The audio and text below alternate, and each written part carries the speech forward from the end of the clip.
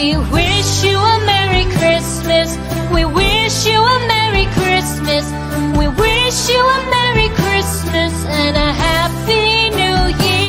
Hola, hola, ¿cómo han estado? Un gusto tenerlas nuevamente acá en nuestro canal de manualidades, en Manualidades Van Gogh. Y en esta ocasión para presentar un nuevo cuadernillo. En videos anteriores hemos presentado el cuadernillo 2022, hemos presentado el cuadernillo 28 que estaba referente al, al comedor, el cuadernillo 29 y 30 que eran referentes a la sala, todo decorado en esa ocasión con frosties. Si no lo ha visto, busque acá en el canal de YouTube y va a encontrar un video al respecto. Bueno, hoy día vamos a seguir y nos vamos a meter en otra área importante de la casa como es el baño.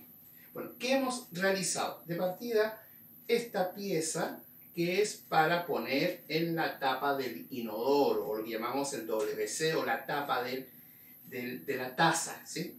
Aquí esto es una pieza completa, tiene acá un bolsillo que nos ajusta la tapa después, y un par de tirantes. Obviamente con el tema que he usado es Santa, y las he hecho en un fondo de color verde.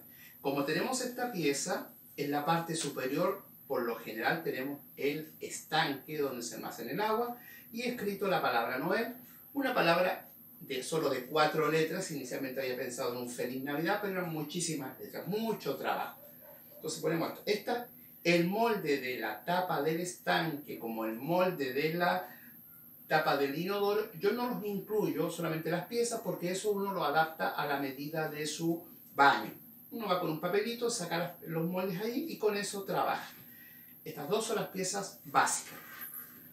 Complemento con esta otra, que es un, una bolsita para el baño, donde incluimos, por ejemplo, guardamos algún cepillo, alguna peineta o algún de estos detallitos que usan, por ejemplo, las, las más niñitas, los coles, para afirmar.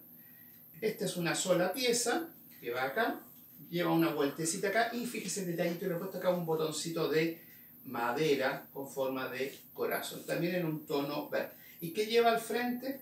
Un Santa que está acá con un, un par de regalos.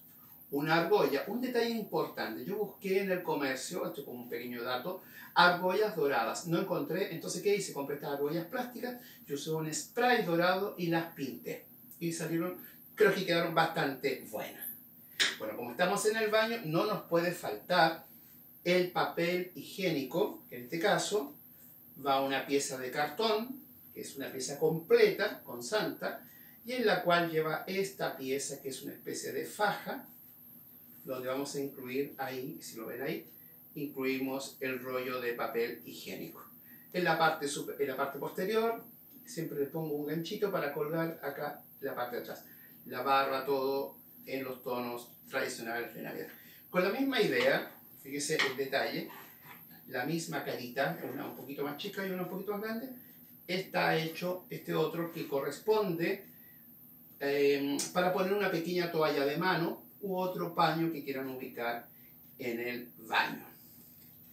Tenemos allí, entonces tenemos una pieza, tengo dos, tengo tres, cuatro, tengo cinco piezas.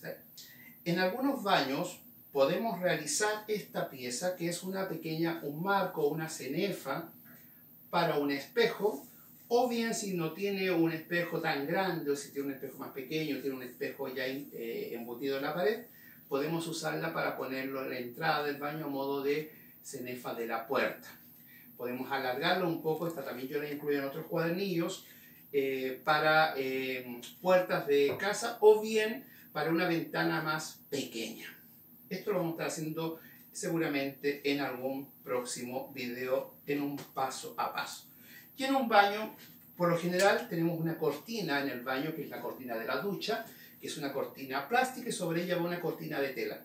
En otra ocasión, en otros baños, yo he hecho juegos de baño completos, incluyendo la cortina. En esta ocasión, solamente quise hacer, con la temática de Santa, esta pequeña cenefa y la ponemos en la parte superior de la cortina. Fíjense, ahí son pequeños banderines, cada uno con la cara de santa.